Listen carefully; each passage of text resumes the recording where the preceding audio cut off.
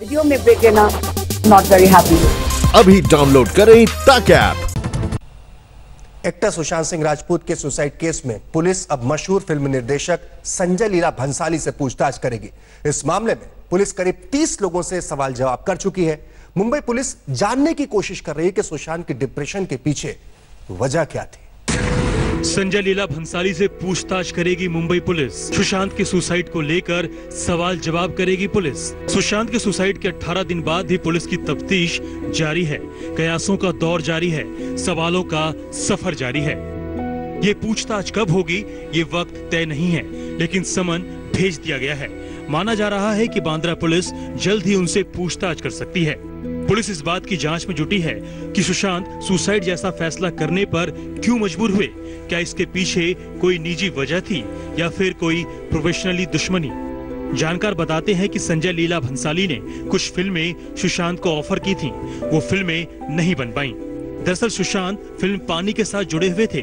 उसी कॉन्ट्रैक्ट की वजह से वे भंसाली की फ़िल्में नहीं कर पाए। पुलिस को उम्मीद है कि भंसाली से पूछताछ में कोई अहम जानकारी मिल पाए। अभिनेता सुशांत सिंह राजपूत की मृत्यु की जाँच कर रही बांद्रा पुलिस ने अब निर्माता निर्देशक संजय लीला भंसाली को समन्स भेजे हैं। संजय लीला भंसाली को इन्वेस्टिगेशन ज्वाइन करने के लिए कहा गया है और उन्हें बांद्रा पुलिस स्टेशन आकर स्टेटमेंट रिकॉर्ड करने के लिए कहा गया है।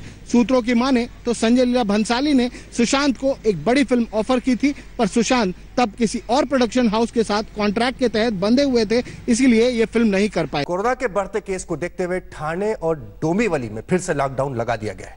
ये लॉकडाउन आज से शुरू हुआ है, दो जुलाई तक रहेगा। लोग राशन सब्ज़ी दूध के लिए एक निश्चित समय के दौरान ही बाहर जा सकते हैं। उस नियत समय के अलावा लोगों को बाहर जाने की इजाज़त नहीं है। नवी मुंबई और पनवेल में भी आज रात 12 बजे से लॉकडाउन लगा जाएगा आवाहन करण्यात येते की आजपासून बारा तारखेपर्यंत टोटल लॉकडाऊन करण्यात आलेलं आहे। ठाणे में 15 दिन में कोरोना के मामले दो गुना हो गए हैं। इसे देखते हुए ठाणे और डोंबिवली में 10 दिन के लिए कड़ाई से लॉकडाउन लागू किया गया है। सिर्फ़ एसेंशियल और मेडिकल इमरजेंसी के लिए लोगों को घर से बाहर निकलने की इजाज़त है। कल्याण और डोंबिवली में 12 जुलाई तक टैक्सी, ऑटो और बस नहीं चलेगी। जो भी मोटरसाइकिल पे घूमने वाले उनके ऊपर पाबंदी लाई गई है। डबल सीट कोई ना बिठा के लेके जाए। और बाकी पब्लिक ट्रांसपोर्टेशन तो फ़िलहाल बंद ही है। कुछ अगर जिसको नेसेसिटी है जाने की उसने अगर ऑटो रिक्शा या ओला उबेर कार हायर किया समझो। तो एक प्लस दो के लिए, उनके लिए अलाउ है, मगर इसेंशियल सर्विसेज़ के अगर कर्मचारी उसी में है, या तो इमरजेंसी पेशेंट है तो उन्हीं के लिए अलाउ है। मुंबई में कोरोना का ग्राफ हल्का सा काबू में आता दिख रहा है, और मुंबई से सटे शहरों में बहुत तेज़ी से नए केसेस बढ़ रहे हैं। मीरा भाईंदर म्यूनिसिपल कॉरपोरेशन ने बुधवार से ही लॉकडाउन लगा दिया है। जबकि नवी मुंबई और पनवेल में 3 जुलाई को आधी रात से लॉकडाउन लग जाएगा। नवी मुंबई में दूध डेयरी की दुकान सुबह 5 से 10 बजे तक खुलेगी। बाकी ज़रूरी दुकानें सुबह 9 से शाम 5 तक। एपीएमसी और इंडस्ट्रियल कॉरिडोर एमआईडीसी को लॉकडाउन से छूट रहेगी। अगर ये कोरोना वायरस का जो चेन है, इसको अगर हमको तोड़ना है, इसको रोकना है तो और सावधानी बरतनी चाहिए क्योंकि ये देखा गया है कि जहाँ पर्टिकुलरली डेंसली पॉपुलेटेड एरिया में सोशल डिस्टेंसिंग का पालन नहीं होता है ये हमने देखा है। उल्लासनगर में भी लॉकडाउन लग गया है। वसई विरार म्यूनिसिपल कॉरपोरेशन ने 18 इलाकों में लॉकडाउन लगाया है। मिशन बिगन के बाद कोरोना के मामले ज़्यादा तेज़ी से बढ़ रहे हैं। थाने में कोरोना के 9,135 केस कल्याण डोंबिवली में 6,925 केस उल्लासनगर में 1,982 केस और नवी मुंबई में कोरोना के 6,823 से ज़्यादा केसेस हो गए हैं। एसेंशियल सर्विसेज़ में जो लोग हैं उन्हें ही बाहर जाने की परमिशन है और जो लोग मेडिकल इमरजेंसी के तहत बाहर जाना चाहते हैं उन्हें अलाउ किया जाएगा।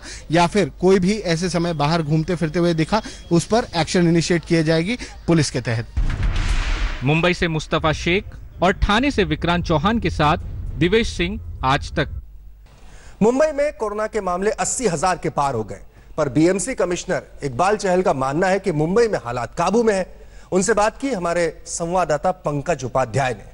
एवरीथिंग इज़ अंडर कंट्रोल हमारे पास कोविड पॉजिटिव पेशेंट जो बेड्स पे हैं सिर्फ़ 9000 हैं। जो अभी डिस्चार्ज रेट है कंट्री में हाईएस्ट चला गया ऑलमोस्ट सिक्सटी परसेंट हम टच कर रहे हैं। पेंडेमिक से लड़ाई के लिए वेयर डू वी स्टैंड हम कहाँ पर हैं? I would say that we are at a very commanding situation everything is under control but yet we are not very comfortable because it's a daily battle and रोज की लड़ाई है और एक एक एक एक बैटल जीत के अल्टीमेटली हम वॉर जीतने वाले हैं। लेकिन सर, इस बात से भी इनकार नहीं किया जा सकता है कि मुंबई में कोविड 19 की संख्या अस्सी हज़ार को छूने को आई है। नहीं चाहे हमारे पास अस्सी हज़ार केसेज हैं, परंतु आज जो हॉस्पिटल में हमारे पास कोविड पॉजिटिव पेशेंट जो बेड्स पे हैं सिर्फ़ नौ हज़ार हैं। और हमारा जो अभी डिस्चार्ज रेट है, हाई कंट्री में हाईएस्ट चला गया ऑलमोस्ट सिक्सटी परसेंट हम टच कर रहे हैं डिस्चार्ज। सो अस्सी हज़ार में मत जाइए, आप इस पे जाइए कि दो करोड़ के शहर में सिर्फ़ नौ हज़ार लोग आज हॉस्पिटल में ट्रीटमेंट ले रहे हैं। आपने मिशन सेव स्ट्रेटेजी ये इनिशिएट किया हुआ है लेकिन आज के दिन भी पेशेंट्स कंप्लेन कर रहे हैं कि हॉस्पिटल्स में बेड की कमी है कहाँ पर कमी आ रही है? आज आ, कल शाम को हमने हमारे पास जो पंद्रह सौ लोगों की पॉजिटिव की लाइन लिस्ट आई थी वो हमने दोपहर को तीन बजे सबको बेड अलॉट करके शाम को हमारे पास तीन हज़ार दो सौ bed covid bed oxygen beds और एक सौ चालीस हमारे पास खाली पड़ा हुआ था। रेमडेसिविर ये जो ड्रग है, इसकी अवेलेबिलिटी को लेकर काफ़ी सवाल उठाए जा रहे हैं पब्लिक हॉस्पिटल्स में। इसको लेके बीएमसी अपनी तरफ़ से क्या कदम उठा रहा है, ये जानना चाहते हैं। जो रेमडेसिविर मेडिसिन है इंजेक्शन है, बड़ा लाइफ सेविंग है, और इसके पीछे हम हाथ धो के पड़ गए थे सात दिनों से। हमने दो काम किए। पहला हमने काम किया कि इमेजली टेंडर निकाला। उसमें जो हेट्रो कंपनी है, उन्होंने पार्टिसिपेट किया है। आज हम उनको वर्क ऑर्डर दे रहे हैं और कल सुबह से सप्लाई हॉस्पिटल में शुरू हो जाएँगी। इसके अलावा जो भारत सरकार ने सिप्ला कंपनी को परमिशन दिया रेमडेसिविर बनाने के लिए, उनको रॉ मटेरियल की दिक्कत आ गई थी। उनका जो इंटरमीडिएट जो लगता है इंजेक्शन बनाने के लिए ऑयल बनाने के लिए, वो चाइना से आता था। तो पिछले चार दिन से वो कार्गो में बम्बई एयरपोर्ट पर स्टकअप था। परंतु सभी के प्रयासों के बाद में वो कल शाम को कंसाइनमेंट रिलीज़ हो गया और सिप्ला कंपनी के जो सीईओ हैं, उन्होंने मुझे आश्वासन दिया है कि अगले चार दिनों में वो तीन हज़ार पेशेंट्स के लिए जो लगने वाले थर्टी वन थाउज़ेंड वायल्स हैं, इतना वो तैयार कर पाएँगे और हमें दे पाएँगे। इसलिए अभी जुलाई महीने में कम से कम बीएमसी में रेमडेसिविर कफ लड़ा जाएगा, क्योंकि ये लाइफ सेविंग ड्रग है। इससे सैकड़ों जानें बचाई जा सकती हैं तो इसको ह्यूमन एंगल से हमने देखा देखा। तो उस उसके हिसाब से हमने जब कोशिश की हमें हमें आज वो सफलता मिली। और अभी इसकी प्रोडक्शन शुरू हो जाएगी there would be at least 5,000 patients who are under the oxygen who who stand benefited from this drug.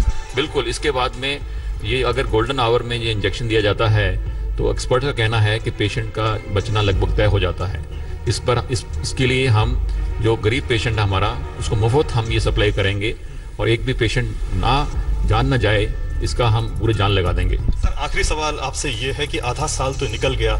ये जो फ्लैटनिंग ऑफ़ द कर्व की बात थी when are we going to achieve that उसमें अभी मैंने आपको बोला कि things are in total control और हम आशा करते हैं कि जल्दी ही ये जो कंट्रोल कंट्रोल सिचुएशन से कंफर्टेबल सिचुएशन पे हम चले जाएँगे। नमस्कार मैं हूँ अंजना ओम कश्यप हमें उम्मीद है ये वीडियो आपको पसंद आया होगा। लेटेस्ट खबरों के लिए यूँ ही देखते रहिए आज तक और इस वीडियो के पसंद आने पर लाइक शेयर एंड सब्सक्राइब करना ना भूलें।